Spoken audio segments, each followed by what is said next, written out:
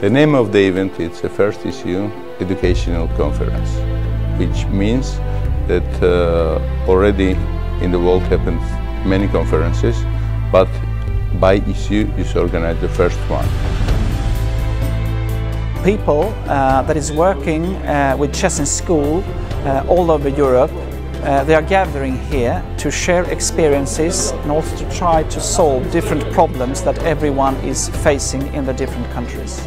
It's a very important topic for us because we are just uh, planning to start it in Belarus and we're doing a lot of work um, uh, to start it and it's a great experience for us to listen uh, uh about other countries, how it's working in other countries and how it's been done. Uh, this program, which is called Chess in Schools, has been running seven years now. This is a very important conference because it's my life, chess in schools. And uh, it was very pleasure for me to, to, to see so very important persons and study experience from other countries.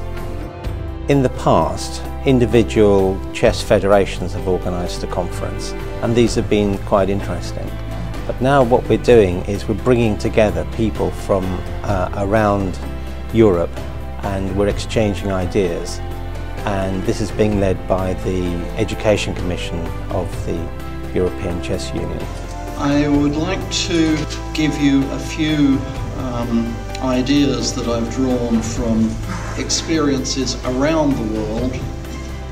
ჭადრაკის სკოლაში არის ის თემა, რომელიც ვფიქრობ ძალიან მნიშვნელოვანი არის არა მარტო ჭადრაკის განვითარების კუთხით, არამედ ჩვენი მომავალი თაობის ინტელექტუალური განვითარების კუთხით, ჩვენ ვცდილობთ რომ ის გამოცდილება, ის საერთაშორისო გამოცდილება, რომელიც უკვე დაუგროვდა წამყვან ქვეყნებს, გადმოვიტანოთ, დავნერგოთ ჩვენს ქვეყანაში და არ გვინდა რომ ამ პროცესს ძალიან ჩამორჩეთ. ძალიან საინტერესო კონფერენციაა ჩემთვის პირადად, იმიტომ რომ ჩემთვის ახალი თემა ბავშვებთან მუშაობა, საერთოდ ბავშვების ჭადრაკი და უბრალოდ პრიორიტეტი გახდება ჩემთვის.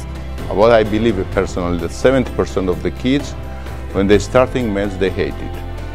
or while it's opposite in chess, 70% of kids, they like it because this is the game.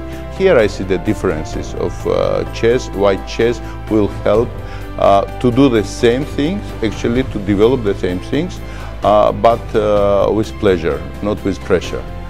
What I wish is that the school systems of Europe will really understand the, how great chess is for developing children, both from a social and intellectual point of view. That's my hope.